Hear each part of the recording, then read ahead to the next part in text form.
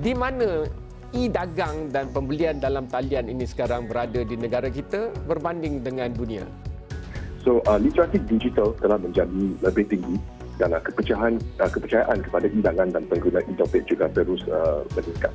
Uh, kami mendapati bahawa daripada Februari hingga April uh, 2020 tahun ini, para pengguna telah menghabiskan secara 20 uh, peratus lebih banyak masa di Shopee dalam seminggu.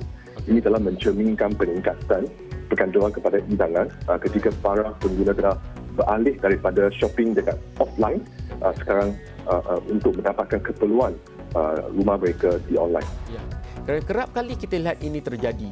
Bila rantaian teknologi tinggi tapi yang bawah-bawah ni tak boleh nak masuk sekali. Apa ni penjualan dalam talian macam juga penjualan dekat kedai secara tradisi.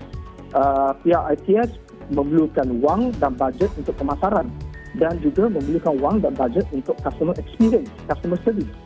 Jadi masyarakat kita masih kurang dalam dua aspek ini.